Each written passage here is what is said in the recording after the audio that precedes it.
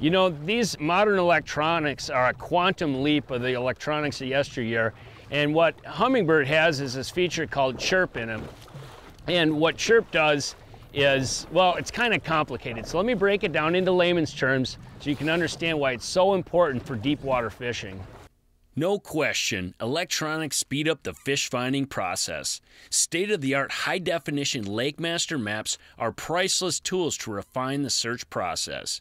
Today, the best spots we have found are large points leading offshore and sunken islands that dump into the deep basin.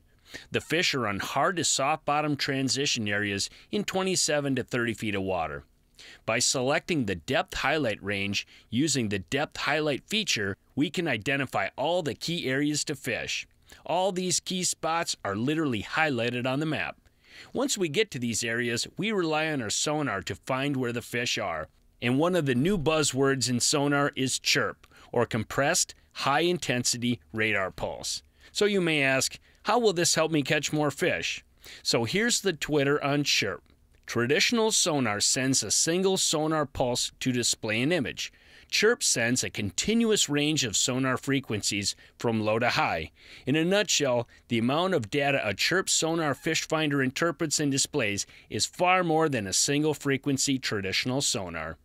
Here are some key benefits we've seen using Chirp. Number one, the display provides more detail, a clear picture of the water column, and better definition of schools of bait fish and game fish. Number two, Chirp has incredible target separation and reveals bottom hugging fish like we're fishing today over soft mud bottom. Number three, Chirp shines for vertical fishing presentations like drop shotting. The bait, sinker, and fish are easy to see.